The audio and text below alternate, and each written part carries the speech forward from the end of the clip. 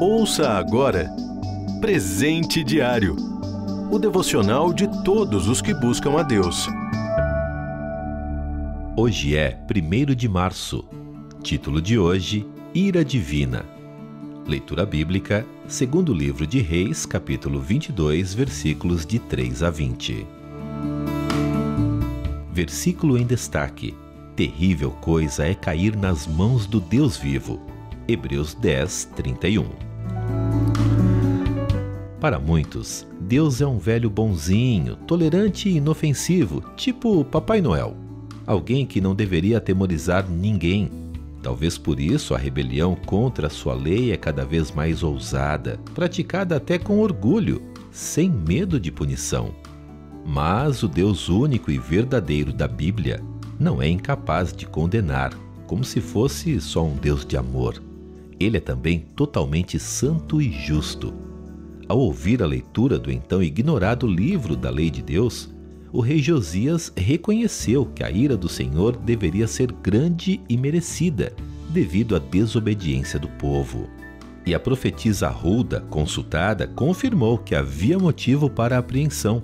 A causa básica era uma só: porque me abandonaram. Versículo 17.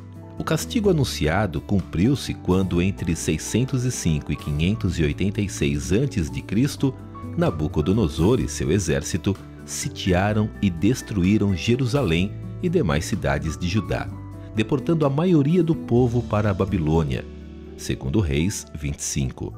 Mas também a outra parte da profecia se realizou. Josias foi poupado.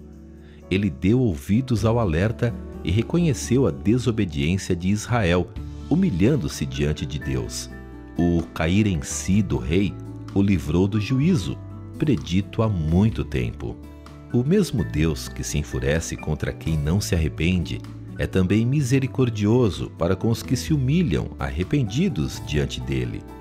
Deus não castiga o transgressor porque tem prazer nisso.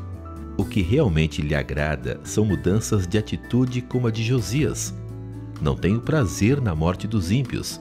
Antes, tenho prazer em que eles se desviem dos seus caminhos e vivam. Ezequiel 33:11. Sim, é verdade.